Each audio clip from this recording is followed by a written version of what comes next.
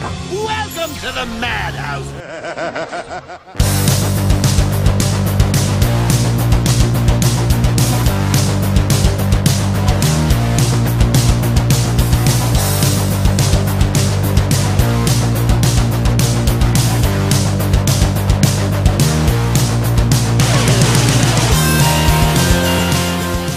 We all go a little mad sometimes. What is going on ladies and gentlemen, welcome back to another video by yours truly, The Nights of Horror, where we grind around here and we get stuff done. I am your host Anthony, and today we are doing our August Q&A video. Now, a little bit ago I asked you guys on Twitter and on Instagram to tweet me and ask me some questions, and I got a pretty good turnout, so we're going to start over like always on our Twitter page. If you want to follow us on Twitter for the next Q&A, Follow us at Nights of Horror on Twitter and at The Nights of Horror on Instagram so you guys are aware when we do another Q&A so you guys can ask your questions. On Twitter, I'll just tweet out a tweet saying, you know, we're going to do a monthly Q&A. Send me your questions on Instagram. I'll share it on my story and I'll have you guys just ask me questions. So without further ado, let's get this video started. Like I said, we are starting on Twitter. We're going to be uh, answering all your questions and stuff. And the first question comes from my girlfriend, Tammy at Never Ready Tammy. You guys seen her on the channel many times. She was on the live stream. She was in the construction update video. Um, and she asked a four-part question. The first one going, how do you find time to manage work, YouTube, and a social life? So work is Monday through Friday, um, 6 to 2.30. And then uh, YouTube is pretty much all week, whether I'm working on videos, collaborating with people, social media, updating people and stuff like that. YouTube is pretty much almost an everyday job, uh, and my social life, so of course, spending time with my girlfriend, spending time with friends and stuff. I kind of manage everything right. I kind of try to pace myself where I have to record and edit videos by a certain time. That way, all I have to do is maybe edit them on one day. Usually, my my edit days are usually pretty much on the weekends because that's when I have the most free time. So like Sundays will be the day where I just come in my studio and just edit all my videos for the week and uh, record all my videos for the week and stuff like that. So that's usually how I manage everything. As far as social life goes, again, I, I, like to spend time with people like on Fridays and Saturdays. Me and Sammy hang out a lot throughout the week too, so that's cool. And like work, uh, it's Monday through Friday, and I have a set time for that, so that comes out to work. Her second question goes, what's one memorable moment that you still think about? I think just where I'm at right now in my YouTube career is uh, pretty memorable only because like I'm getting noticed at conventions, I'm getting noticed, you know, at horror events and stuff like that, which I think is really cool. So I think that in general is just something that it's, it's always going to be a memorable moment when I think about it. Uh, Tammy then goes on to say, uh, top three presents you got for your birthday. Number one is going to go to the Nights of Horror sticker you got me. Number two is going to go to the Nights of Horror social media patches that you got me. And number three is going to go to that shirt Robert got me of Leo DiCaprio doing the dance from Once Upon a Time in Hollywood.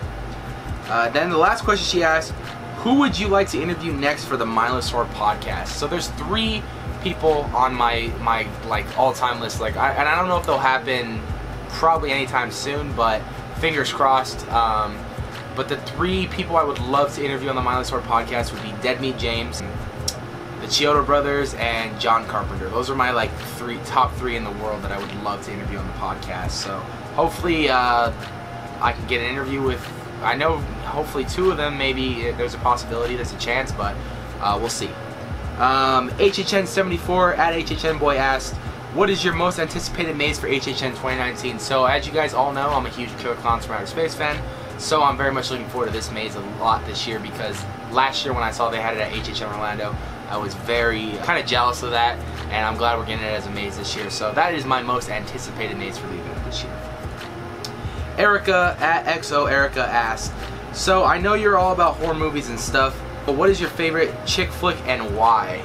Uh, if I have to pick a favorite chick flick, it's probably going to be A Star is Born, and that's because, um, one, I love Bradley Cooper. Uh, he's a great actor, great director, producer, writer, um, and Lady Gaga's a very talented uh, actress and singer as well, singer-songwriter. So uh, when I saw that movie, I, I, was all against it, like, oh, that movie's gonna suck and stuff. But then I actually sat down and saw it, and I thought it was a really good movie. So I have to say, A Star is Born.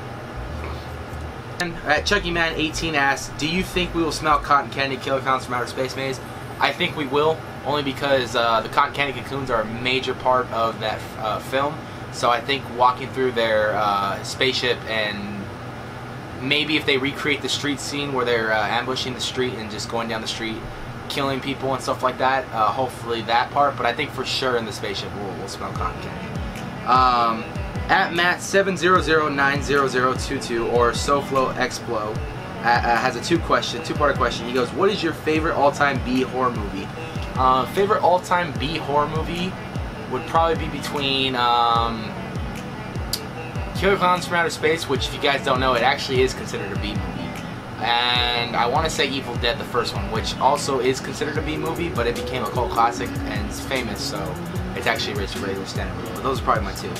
And number two, what would be your dream HHN house? Well, Killer Clowns from Outer Space is coming to the event, but if I had to choose a second one, it would probably be John Carpenter's The Thing because I really want to see them um, how they would create that, recreate that, and such like that. Um, I'm a huge fan, like I said, of John Carpenter in general, so to see that would be pretty amazing, and I cannot wait to uh, hopefully see that at the event one day. Uh, now we're gonna go over to uh, Instagram where I asked the same thing. Um, you know, just ask, just send me some questions. If you guys want to follow me on Instagram, at the Nights of Horror is where it's at, and I do monthly Q and A's, and uh, that's where you'll get posts about when I upload videos, podcasts, uh, or just uh, horror pictures I take at conventions or events. Um, so it's a great way to see what I'm doing, and then Twitter's a great way just to see, get news about the channel and stuff like that. The first one's gonna go out to my sister Marissa.photographs, and she's asked, "Will you bring your siblings onto your channel?" Um, I think I've introduced my mom and I think you before on uh, Disney vlog that I did one time. Um, but I'm open to it. Uh, if they want to come on, they're more than welcome to.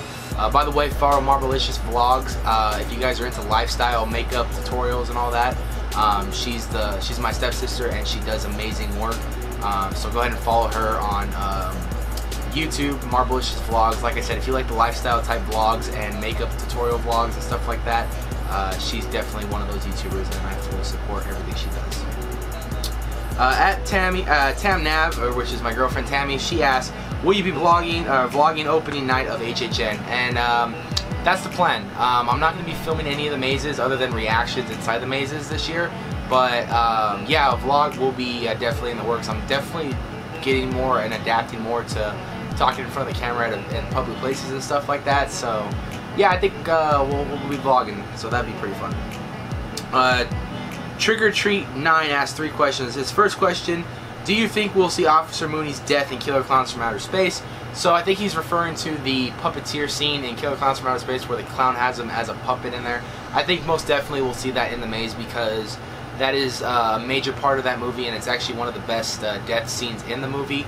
Uh, and I'm very curious to see how they'll pull that off. Uh, so I'm very excited to see hopefully they put that in the maze. Uh, his next question is, what is your most hyped maze for HHN 2019? Uh, and I answered that already. It's Killer Clowns from Outer Space, um, just because it's one of my favorite horror movies, if not my favorite horror movie of all time. Um, and then he, his last question is, which scene are you most looking forward to in Killer Clowns from Outer Space? So I got two that I really want to see. Uh, of course, the Mooney one, Officer Mooney when he's the puppet. That'd be that's going to be really cool to see how they pull that off. And the very uh, last scene of the movie, which is of course um, Clownzilla.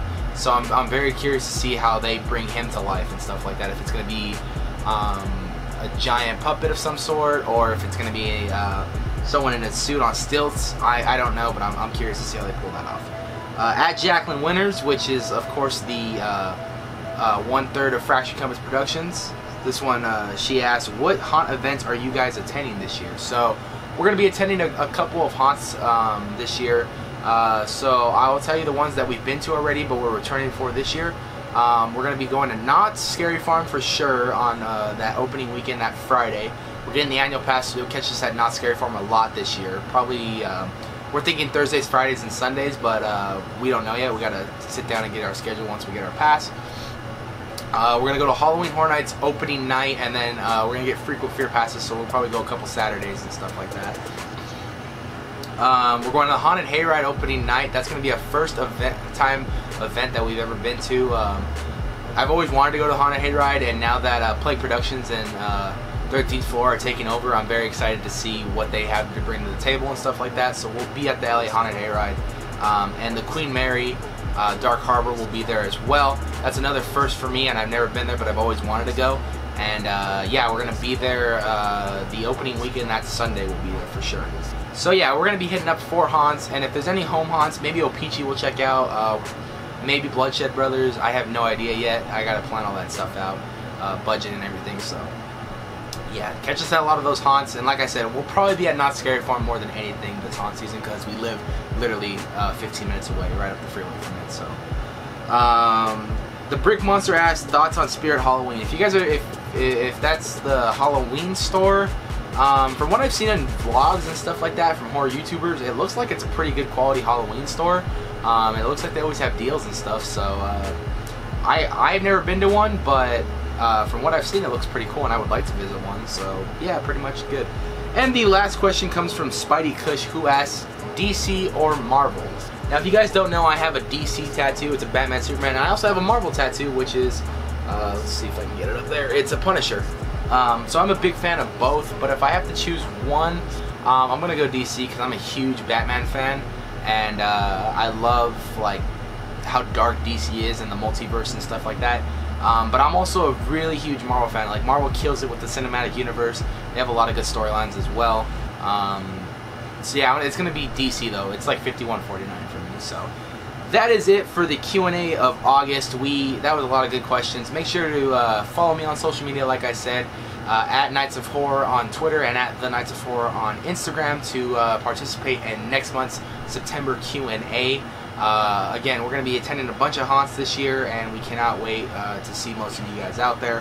Hopefully, all you guys. If you guys see us, come up, say hi, walk through a maze with us, walk through a scare zone with us, uh, whatever it be. Uh, just know that we are open arms to meeting fans. So, thank you guys for the constant support, and we will see you guys in the next video. Bye.